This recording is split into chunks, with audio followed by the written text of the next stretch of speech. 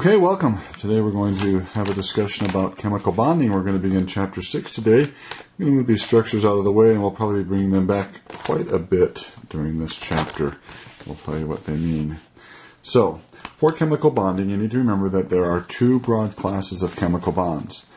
Now, those that bond atoms or ions together within a molecule or solid structure are called intramolecular bonds. Uh, those that bond molecules to other molecules are called intermolecular bonds. Now, let me just talk a little bit about the difference between the two. By the way, we're going to spend most of our time talking about the intramolecular bond. So let me introduce that first. Um, if I use this model to represent the water molecule, a hydrogen with two, uh, excuse me, two hydrogens with an oxygen, um, the bond that holds the hydrogen atoms to the oxygen atom is an intramolecular bond. If this model represented methane, a carbon bonded to four hydrogen atoms, this bond right here would represent an intramolecular bond. It's bonds that hold the atoms together within a molecule or ions together within an ionic lattice. Now, the other flavor is an intermolecular bond. So water molecules are actually attracted to other water molecules. Um, we will learn that water is a polar molecule. It has a positive end and a negative end.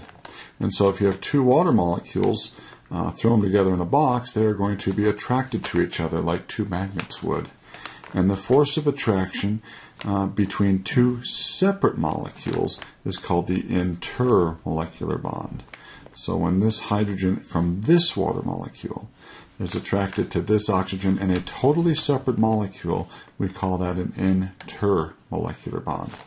Now, we're going to spend most of our time in this unit talking about these guys right here. The bonds that hold atoms together within a molecule or ions together within an ionic lattice. And those are the intramolecular bonds. Now, the chemical bonds formed between atoms depends upon two periodic properties. Their electron configuration and the attraction that the atoms have for electrons. The relative tendency of an atom to attract electrons to itself when bonded to another atom is called electronegativity.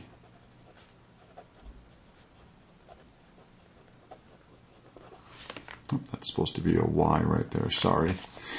Now the, the table number and page number are wrong that I have in your notes, so please change that. It's figure 20 on page 161 of your textbook.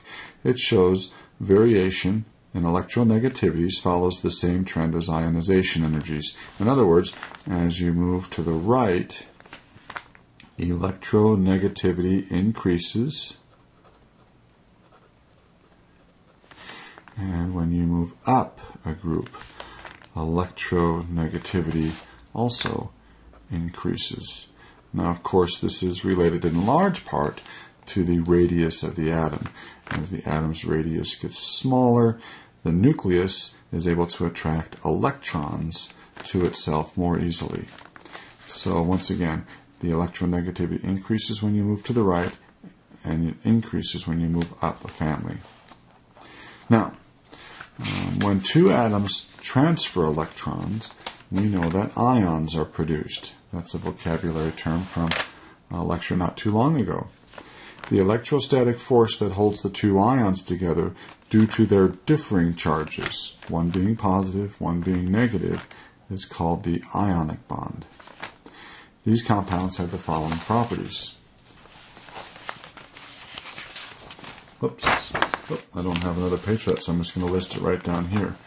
Uh, they have high melting points. They often form crystals.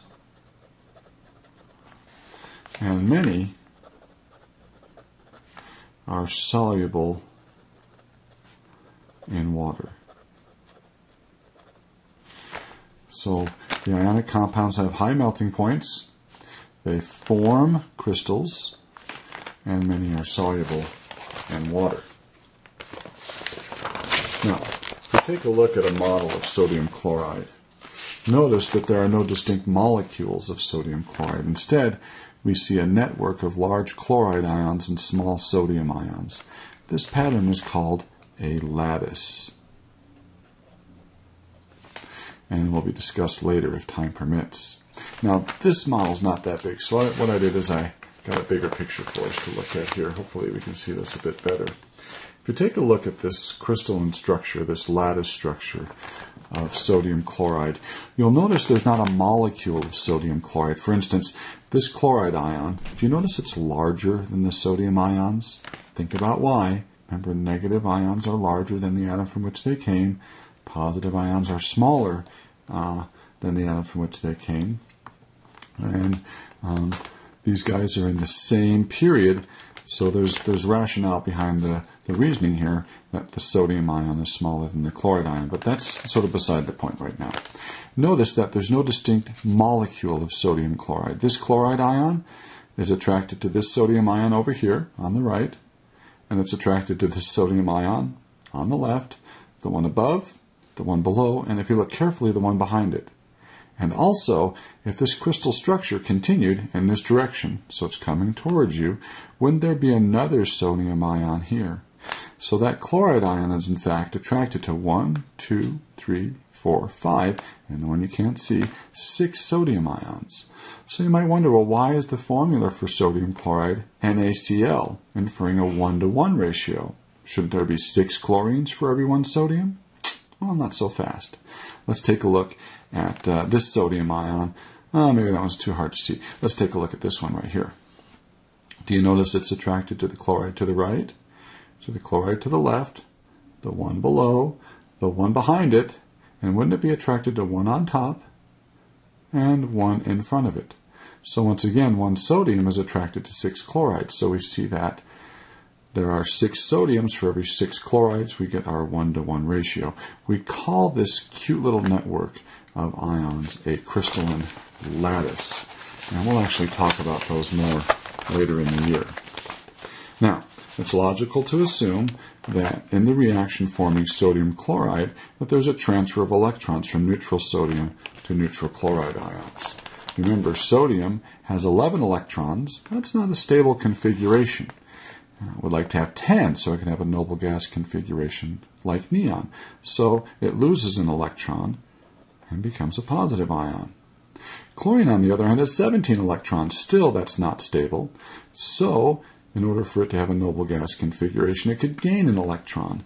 And when it does that, it forms a negative ion. So the positive negative attraction. And that is the basis behind the ionic bond. Now just think about this we just saw a model of what sodium chloride would look like. For every sodium, there's one chloride. If you saw a model for magnesium chloride, for every magnesium, you would see two chlorides. And if you want to take some time to find those structures on the internet, please go ahead and do that. In an ionic bond, that forms as the result of the transfer of electrons from a metal atom to a nonmetal atom during a chemical reaction. Metals tend to lose electrons and become positive ions. Nonmetals tend to gain electrons and form negative ions. That positive and negative attraction is the basis for the ionic bond. Alrighty, we're now going to talk a little bit about covalent bonding. In fact, we're going to spend a lot of time talking about covalent bonding. It's pretty easy to understand why sodium ions and chloride ions should be attracted to each other. They have an opposite charge. We all know that opposites attract. This is the electrostatic attraction. It's not so easy to explain what holds atoms of nonmetals together in a covalent bond. In 1960, a guy named Gilbert N. Lewis, one of America's greatest chemists, published a famous paper. That paper was called The Atom and the Molecule. He suggested in this paper that non-ionic molecular compounds arise from the sharing of electrons between atoms. Such a bond is called a covalent bond. Let's consider hydrogen gas. Its formula is H2. There are two hydrogen atoms attracted to each other, forming what we call a covalent bond. We will represent the hydrogen atoms by their electron dot pictures. And you remember how to draw electron dot pictures. Each hydrogen has one dot. Now, each atom has an electron in the 1s orbital. This orbital is capable of holding one more electron for a total of two in the 1s orbital. The theory proposed by Lewis is that the two atoms come close enough to each other so the 1s orbitals, one from each atom, overlap, and the two electrons, one from each atom again, can now be shared by both nuclei. So we can envision these coming close enough to each other so they share a pair of electrons. Now, if you notice this, if I just look at the hydrogen atom to the right, for some of the time, won't it have two electrons around it? And this hydrogen atom to the left, for some of the time, won't it have two valence electrons? Well, two valence electrons is the noble gas configuration for helium, which is a stable configuration. So by sharing a pair of electrons, once again, one, one electron from each atom, we can attain that stable noble gas configuration. This illustration might show it a bit better. Each 1s orbital has two electrons, at least part of the time, which is the noble gas configuration for helium. If the atoms were human, they would probably rather have the two electrons to themselves. In fact, there are cases where hydrogen does gain an electron to form the H negative ion, but that is an exception. Now, the structure we just drew, where we drew two hydrogens sharing a pair of electrons like that, is called the Lewis structure. It's named after Gilbert N. Lewis. And we will learn how to draw Lewis structures um, in this chapter. We'll actually be quite good at it. The force that holds this covalent molecule together is the attraction that each nucleus has for the electrons being shared. This simultaneous attraction for shared electrons by two nu nuclei is the rationale for the covalent bond. Now let's do another one. How would you draw the Lewis structure for hydrogen fluoride? Well, we'd start like this. Hydrogen in group 1 has one valence electron. Remember, if you're in group 1, you have one valence electron. Fluorine is in group 17. It's a halogen. It has seven valence electrons. Its configuration ends with 2s2, 2p5. It's a member of group 17. It has seven valence electrons. So what we would see would be three pairs and one all by its lonesome. Now, notice that hydrogen needs one more electron to attain the noble gas configuration of helium, and fluorine needs one more electron to attain the noble gas configuration of neon. What if they shared a pair in the middle? We would end up with something like this. Remember, fluorine had seven, hydrogen had one valence for a total of eight. I still have eight valence electrons. For part of the time, doesn't fluorine have eight valence electrons, a noble gas configuration? And for part of the time, doesn't the hydrogen have a pair of electrons, which is the noble gas configuration for helium? So the hydrogen atom is satisfied since it has two electrons, and the fluorine atom has eight valence electrons. Both of these configurations are the same as a noble gas. Notice that fluorine has an octet around it 2, 4, 6, 8. There is something very stable and seemingly magical about that number 8. So, for the octet rule, atoms react